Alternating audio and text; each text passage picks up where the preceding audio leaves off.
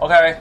Hey, Happy Vincent. National Day. Happy National Day. Uh, thanks for working on that public holiday. hey, no, pro- no problem. We can work a little magic. Anyway, uh, Yeah. we'll talk about an interesting keyword for today. Sure. For National Day, it's kind of strange. Okay. It's a hyphenated word. Okay. Bid hyphen rigging. Yeah, bid rigging. D hyphen R I G G I N G. Bid rigging. Yes, Uh. this is something for property owners to watch out for. Uh huh. And if you're a renter and you have to pay your building uh, management fees, you should also be looking out for this. Okay. Okay. Uh, there's a new group, the Property Owners Anti Bid Rigging Alliance, are going to run candidates in the district council uh, elections. They just made an announcement a few days ago.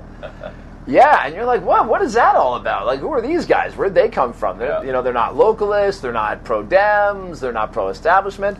Their thing is they want to stop bid rigging in buildings. You want to know how it works? Uh, how the anti bid rigging works. How the anti bid rigging works. well, first thing you just got to know what's going on. Um, so the deal is this: the kind of the thing the triads have figured out, and they've, I think they've been doing it for a little while now, but it's just kind of getting more and more into mainstream consciousness. I think we mentioned it once on this show, but people are still kind of getting their heads around it. Essentially, triads figure out how to get control of building, uh, building uh, committees, councils, whatever you want to call them. The management committee are the people that are responsible for making decisions about the building Yep. right? So if you're if you're an owner of a flat in your building, you can run for your building's council. They'll be the ones that make decisions about things like uh, fixing up the outside of the building, changing the plumbing. Maybe they're going to like remodel the area where they pick up the garbage. You know, refurbish the pool if you are so you know enlightened as to have something like that where you live.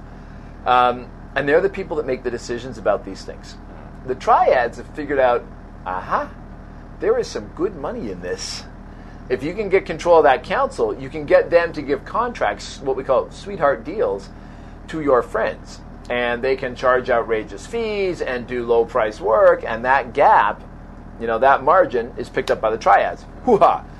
So they go about doing this by trying to get control of the Okay, council. Okay, that's how the bid rigging works. Now, Yeah, but you but you have to get control of the, the bid. You have to get control Yeah. of the council. Well, there's a big movement on right now to educate people about this, right? Because if you're in the building and you just like can't be bothered with that stuff, and then all of a sudden, you know, they turns around and they're like, "Oh, by the way, your fees are going up by five hundred dollars this year." You're probably gonna, you know, five hundred dollars a month or whatever, and they're gonna be like, "What? That's oh, come on, you guys!" And by then, it's too late. You got to still pay it. how the district council election comes in. Well, this is it. So these guys are going to come in around. And it's like, well, you know, what's going on here? How are, you guys are going to run for district council? But really, reasonably, what can the district councils do about it? Yeah. The answer is not much. to be honest. After About- all your analysis, After all that, I mean, what, what can they do? It's just not within their purview. Well, they can raise awareness. They can. So, for example, in my district, one of the district uh, council candidates, he took it upon himself to go and test the water in every building. You know what? Some of the But I mean, not his job. But some of the they have manage- that kind of yeah, authority. some of the uh, management uh, or the ownership association, yeah, uh, the chair yeah, would choose to support some district councillors, and yes, some of them even run for district councillors. yeah, So I think this group is not really into being uh, elected, yeah. but just to expose. Right. So they have a good reason to go to management committees and say, the systems, "We yeah. want to cooperate with you guys. We want to talk to you." And oh, by the way, here's our candidates. Yeah. Right.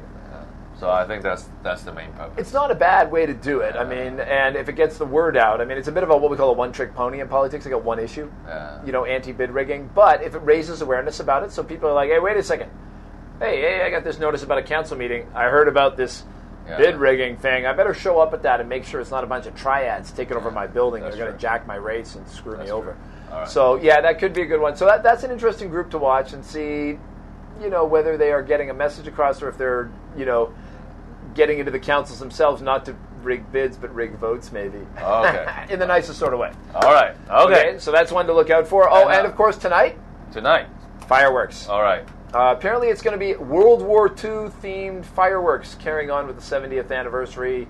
You know, it's all coming down from Beijing, the top, and they're going to, I guess, pick the theme of our fireworks this year, which is World War II.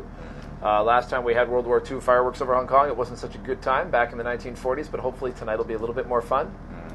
You know, everybody obey the crowd control. Keep a hand, keep a close eye on your kids. And play it uh, safe. just to remind all of you, uh, tonight, yeah. uh, starting from uh, 5 o'clock onwards, Yep. this car park we're in will be closed. Yep. No car can come to here. Yeah. Jam packed. Jam Yeah, packed with people. 5 o'clock till 11. Yeah. But uh, if you really think you can drive to Admiralty and Central and Wan Chai and Causeway Bay and can get your car out uh, smoothly, think again. Well, at, at least, at least there won't be hundred thousand people sleeping in the streets like last year. So yeah, I guess that's okay. Okay. All right. Cheers. Catch you later.